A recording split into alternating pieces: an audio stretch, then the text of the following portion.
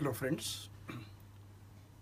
Now I will be talking to you about Conn syndrome, which, which is also known as primary hyperaldosteronism. As far as hyperaldosteronism is concerned, it is of two types. As primary and secondary.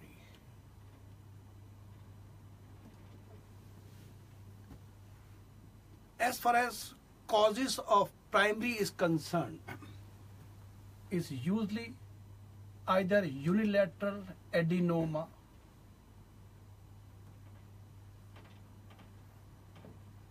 or bilateral adrenal hyperplasia.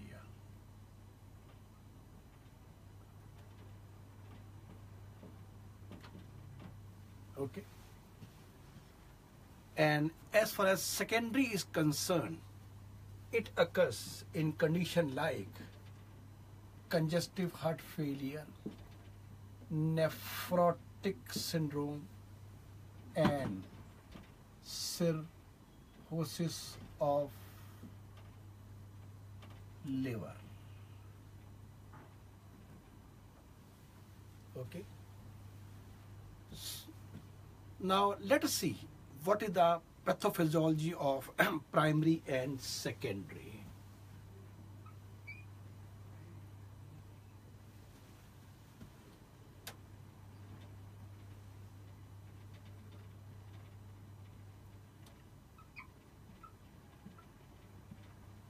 In the primary, in the primary, as you know, the adrenal adenoma, it causes increased secretion of A for aldosterone. So there is excess of aldosterone in this patient. It lead to increase sodium and water reabsorption from the tubules. As you know, aldosterone is the one which primarily absorb sodium and water from the DCT and the collecting tubule. It lead to increase intravascular volume and that lead to reduce R for renin, A for aldosterone. So in primary, aldosterone level is high and the renin level is reduced. Now what happened in secondary? Just to remind you, secondary occur in CHF, nephrotic syndrome and cirrhosis of liver. Now what happened? In this, as the fluid leaks out of the vasculature, intravasculature, the entire fluid, most of the fluid has gone to extravascular space. So here, intravascular volume is reduced. That lead to increase aldosterone and that lead to increase renin level. Point to be noted, in both the condition, renin uh, aldosterone level is increased, primary and secondary. But in sec, in primary, renin level is reduced, but in in secondary, renin level is increased. So now let us see what are the uh, clinical feature of Conn syndrome. So before I discuss the clinical feature, let's learn the basic concept. The clinical feature. So here is the nephron.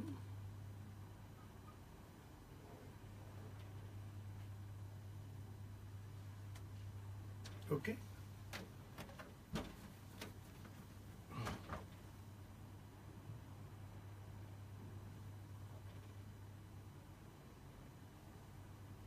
and we have A for aldosterone and it acts primarily on the collecting tubule and the DCT.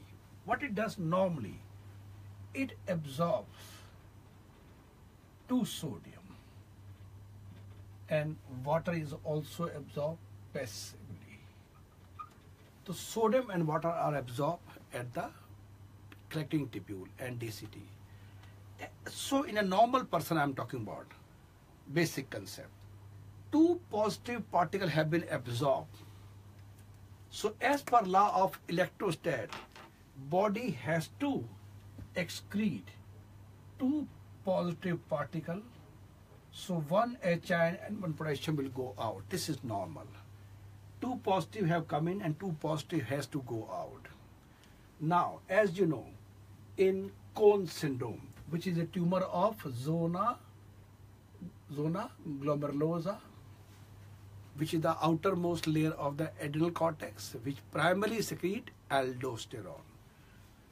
So tumor of zona glomerulosa excess aldosterone. So in that case, here patient will be absorbing excess of sodium. That means normally suppose we presume two sodium are being absorbed. Here four sodium are absorbed being absorbed with water. Okay, so excess sodium and excess water coming in. So what we get is increase intravascular volume. This is what I told you. What is the basic problem? And that lead to clinically it lead to what? Hypertension. So hypertension is the clinical feature that we happen in these patients. Now, what else will be there? Excess sodium come in, now body has to excrete double H ion and double potassium. So double potassium goes out. That lead to what? Hypokalemia. Hypokalemia. That's the reason why hypokalemia occurs in Conn syndrome. Excess of H ion is also going out.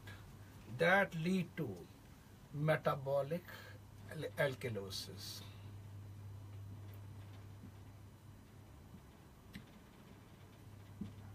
Okay. Now, because of hypokalemia, the patient are prone to muscle weakness.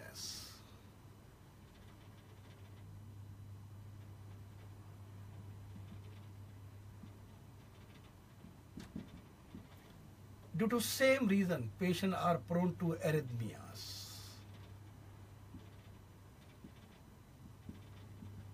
And patient is prone to polyuria.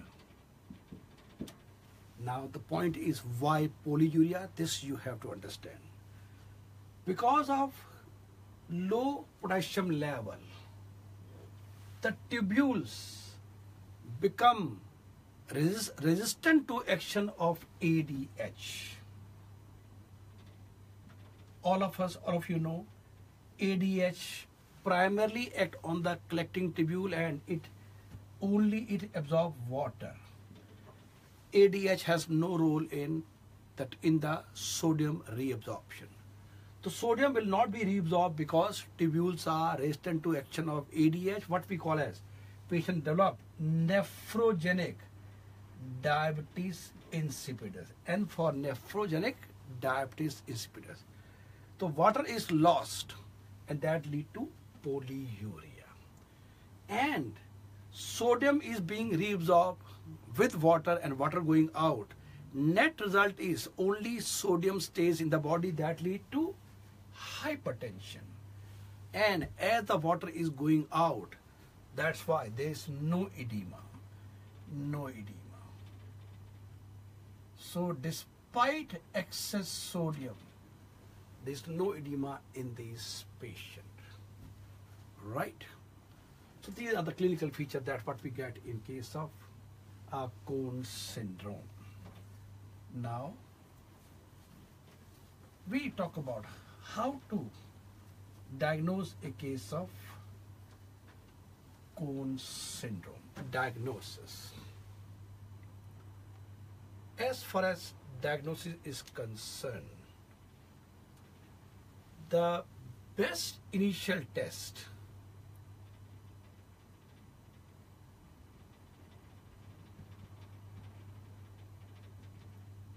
is you check plasma aldosterone concentration. Plasma aldosterone concentration and ratio of plasma renin activity. Remember, in primary, we discussed just now, the aldosterone level is increased, but renin activity is reduced. So we go for the ratio.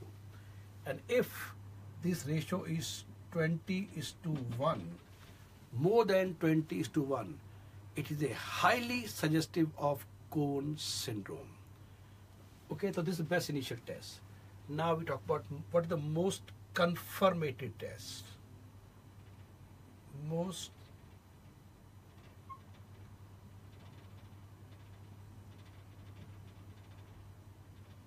For that we do sodium chloride challenge test.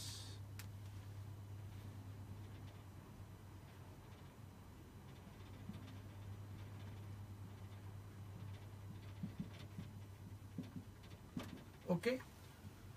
So we give a challenge of salt. It is done in the morning.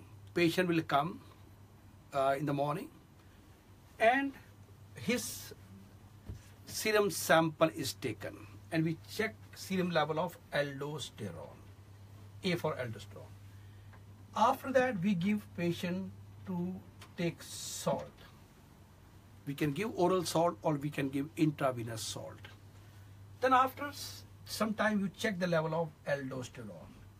In normal person, after sodium chloride, the aldosterone level falls. But if it does not fall, this is the most confirmatory test or the most accurate test to diagnose Conn syndrome. Okay? So now we confirm the patient has Conn syndrome. Now, we, as we, I told you, usually it is unilateral adenoma or it is a bilateral adrenal hyperplasia. Now we have to locate. We have to locate where is the problem. For that, we do either CT abdomen or we do MRI. This is essential to locate. Why it is so essential? Because final treatment is surgery. But before surgery, let's see, patient has come with hypertension. So what the medical therapy we give? So treatment include treatment include spironolactone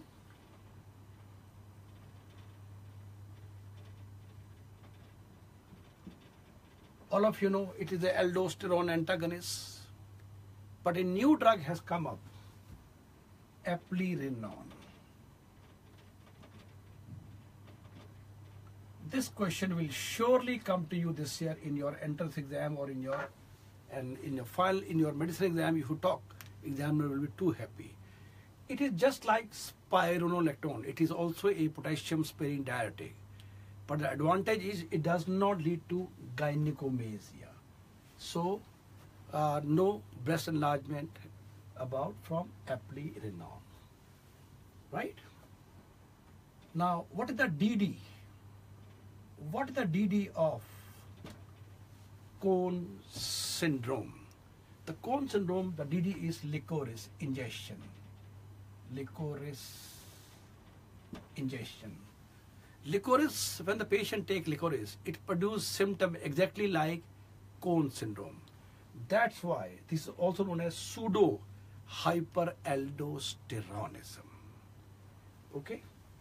Now let's see what is the difference uh, between the primary and secondary. Again, before I discuss, remember main ultimate treatment of adrenal adenoma or hyperplasia is surgery. Okay ultimate treatment is surgery. But as of now, let's uh, see what is the difference in primary and secondary hyperaldosteronism. Primary and secondary.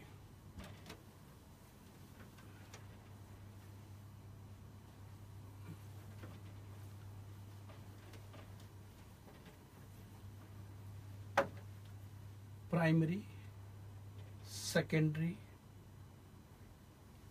hypertension in primary yes yes yes may or may not be there. Edema, feet, no. Yes, yes, yes. Polyuria. Yes, yes, yes. Yes, no. Then arrhythmias.